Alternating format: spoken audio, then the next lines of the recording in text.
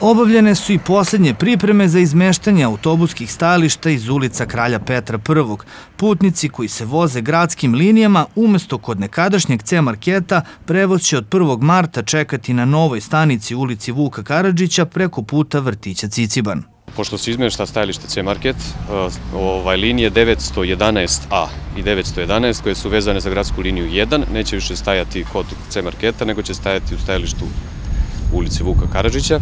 Takođe i u linija 914 koja je kreta, kreće sa autobuske stanice Lastine i kruži poreko bazena i kroz grad i dalje do Lastine autobaze, znači neće takođe stajati više u, na stajalištu kod C marketa, nego takođe na stajalištu Vuka Karadžića. Takođe u suprotnom smeru, znači pomenute linije, više neće stajati preko puta C marketa. To se stajalište izmešta i sada će putnici, odnosno autobusi, stajati na stajalištu gradskom u Nemanjinoj ulici. Oni koji putuju ka Beogradu u autobus će ulaziti i iz njega izlaziti u ulici Kralja Aleksandra, jer se stajalište kod Topolica ukida. Saobraćaj se prebacuje kroz, znači, kružnim tokom, da kažem, na kružni tok i tu će ovaj, se prebaciti ovaj, linije prema Beogradu, znači i lokali i ekspresi, takođe i u suprotnom smeru. U povratku, znači, neće više stajati na stanici Topolice. Povećanje bezbednosti sugrađana bio je osnovni razlog za izmeštanje teretnog i autobuskog saobraćaja iz ulice Kralja Petra I, istakao je zamenik predsednika opštine Obrenovac. Novi režim saobraćaja u Obrenovcu je nastao kao produkt jedne ozbiljne analize i studije koje je sproveo Gradski sekretarijat za saobraćaj. Dakle, na prvom mestu nam je bila bezbednost dece, obzirom da se u ulici Kralja Petra I nalaze jedna srednja škola i jedna osnova škola i naši najmlađi za vreme velikih odmora su često trčali preko puta u pekaru po užinu, čime su se izlagale velikoj opasnosti. Vranešević istakao i uvođenje nove gradske linije 914.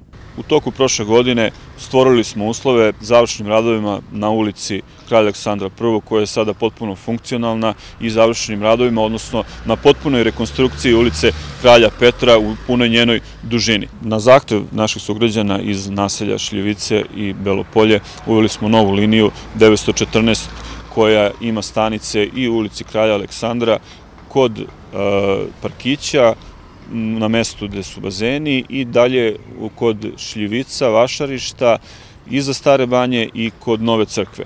Dakle, time smo poboljšali komunikaciju tih naših sugrađana i vezu sa gradom i to je u stvari bila jedna mala proba za sve ovo što je sada sprovedeno. Zamenik predsednika opštine osvrnuo se na bezbednost svih učesnika u saobraćaju u ulici Kralja Aleksandra. Sagledavajući sve bezbednostne aspekte, stručnjaci iz Gradskog sekretarijata za saobraćaj potpuno i apsolutno stali iza ove trase, dakle, e, sa aspekta bezbednosti apsolutno nema potrebe da iko ima strah da je to urađeno laički i amaterski. Danas smo uradili pripremne radove na pešačkoj stazi u ulici Kralja Aleksandra I na nedostajućem delu koji je u dužini od 75 metara, a nalazi se na, od same raskrsnice Kralja Petra dužinom kralja Aleksandra I. I u naredna dva dana će tu biti izgrađena jedna potpuno nova i funkcionalna pešačka staza, tako da će naši građani moći na najbezbedniji način da koriste ove stanice.